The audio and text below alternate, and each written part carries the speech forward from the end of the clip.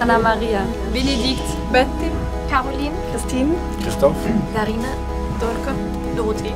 Eugénia. Ferenc. Gertrude. Gila. Hannah. Heike. Julia. Katja. Manuela. Peter. Sylvia. Thomas. Thomas. 24 jeunes Allemands, Français et Hongrois se sont retrouvés du 8 au 14 novembre 2009 à Saint-Germain-en-Laye dans les Yvelines pour faire ensemble le bilan des 20 ans qui ont suivi la chute du rideau de fer et pour réfléchir à l'avenir de l'Europe.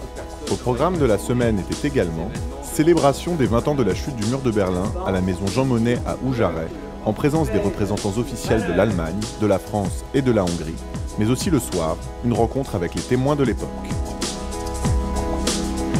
Moi, je jamais dans ma vie, il y aurait un, un changement pareil.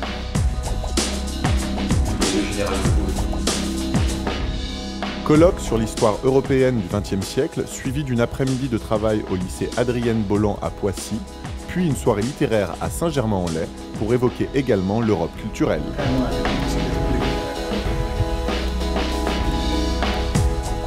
Participation aux cérémonies patriotiques et dépôt de gerbes par trois jeunes du groupe.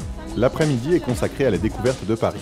Rencontre des jeunes européens avec les élèves du lycée international de Saint-Germain-en-Laye pour discuter des différentes perceptions nationales de l'effondrement du communisme. L'après-midi, poursuite des travaux en commission.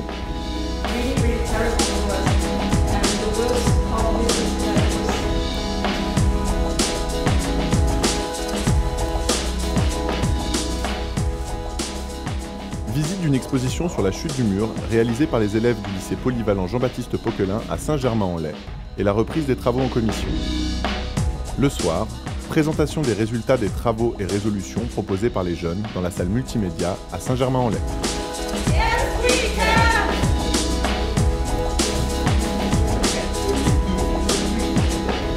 Grand colloque du 14 novembre 2009 qui clôture cette semaine en se projetant dans l'avenir et en tentant de répondre à la question Où va l'Union européenne